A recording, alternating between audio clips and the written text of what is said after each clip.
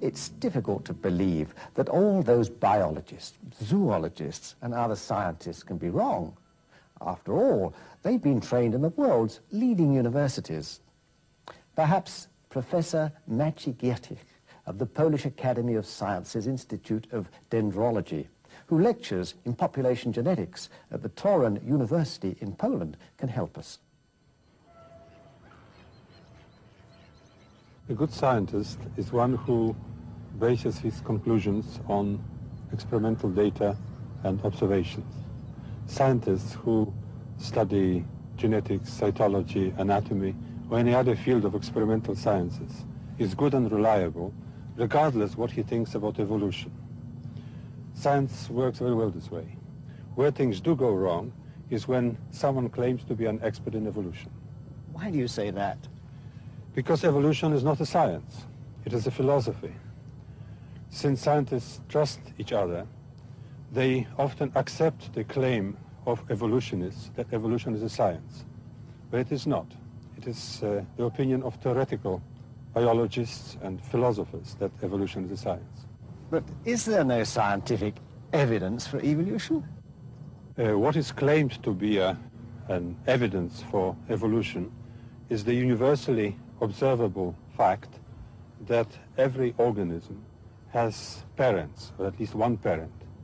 Now this coupled with the uh, knowledge that there was a time when there were no ants, no frogs, no men, leads to the unscientific postulate that uh, the first frog was born of a non-frog, the first ant of a non-ant, the first human of a non-human, and so on. Why do you say this idea is unscientific? Because the available evidence does not support it. The science of genetics clearly shows that such change is not possible. The evolutionists go even further. They claim that uh, living things have evolved from non-living matter. But if there is no scientific data to support the evolutionist claims, how is it they manage to convince so many other scientists that evolution is a scientific fact? Uh, their main argument is that there are small uh, positive or be beneficial mutations occur in the reproduction cells and are retained by natural selection. These mutations, they say, accumulate and cause a species to gradually change into another species.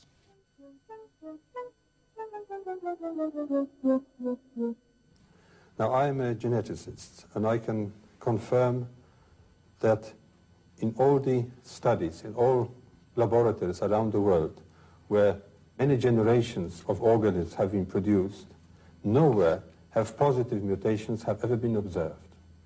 And also in the most studied population of all, the human population, all known mutations are either neutral or harmful.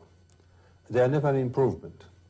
In fact, nature is programmed to protect genes from changes and to correct uh, errors that have occurred. But if mutations don't cause changes, what causes all the different varieties of animals and the different types of men? Uh, the varieties come from recombinations, from the mixing of genes during sexual reproduction. Organisms adapted to a set of conditions will concentrate in an environment that has these conditions. By interbreeding, they will form a population which uh, has the, uh, what we call a, becomes a variety. Now also, uh, if by accident a population is isolated, some features uh, may concentrate in that population and give it a distinct appearance. This is what we call genetic drift.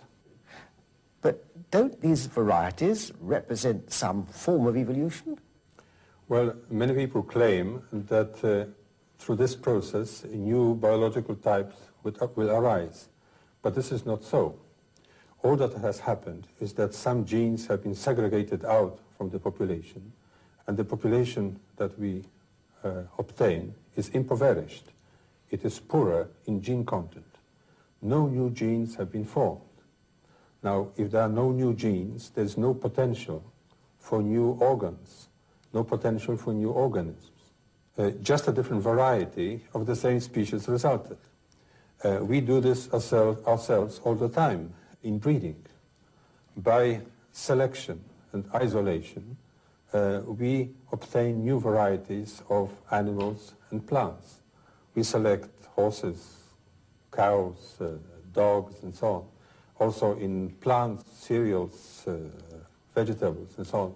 Uh, we select those which are useful to man, which have certain characteristics, and that are of special interest to us. But these populations are uh, restricted in the genetic pool, and uh, they are very much dependent on the conditions, on the external conditions uh, that are provided for them. Uh, they are dependent on the conditions that man will create for them. And if they are left alone, they will either die, or uh, they will, uh, if they survive, they will return to the wild state. Uh, they will cease to be a, a, a separate variety. So, if life forms are more resistant in their natural state, any change that takes place in nature would perhaps be long-lasting. Just mixing of genes, whether in natural conditions or in domesticated conditions, does not provide new genes. For evolution, we need new genes full of new genetic information. There is no natural process known to science which will produce these uh, new genes, neither by isolation, selection, uh, mutation, or breeding. This is not possible. But why is it then that children are taught that one species can evolve into another? Well, I think it is because evolutionists are unwilling to face the fact that genes contain so much useful information, information needed uh, for the precise functions that the organisms have to perform. It is since we have uh, been learned how to read the genetic code that we have become aware of the mass of information contained in the genes. Uh, there's no known way to, sci of, to science of how this information can arise spontaneously. It requires an intelligence. It cannot arise from ch chance events. Uh, just mixing letters does not produce poetry. The science of molecular biology makes it clear that never in the past could there have been such a thing as a simple organism. All organisms, however primitive they may appear, are complex and bursting with information. And we know that this information must have been there from the very beginning. For example, the very complex DNA, RNA, protein replicating system in the cell must have been perfect from the very start. If not, life systems could not exist. The only logical explanation is that this vast quantity of information came from intelligence. Every bacterium, every microscopic cell is so precisely programmed that we have to assume that the information contained within it comes from an intelligence far beyond our own. The evolutionists do not want to accept this self-evident fact. As a result, they are producing theories which are of no scientific value because they do not provide any ideas how new genetic information is produced. Now, the curious thing is that the school textbooks and the reference books in natural history continue to say that evolution is an established fact. Yet, as this program has shown, in the light of current scientific knowledge, far from being a fact, scientists are saying that evolution doesn't even appear to be an acceptable hypothesis. The idea of gradual evolution of man from such creatures as Australopithecine apes is totally without foundation and should be firmly rejected. So the statement that man is a, a recent creature coming from some uh, primitive form cannot be supported by genetic data at all.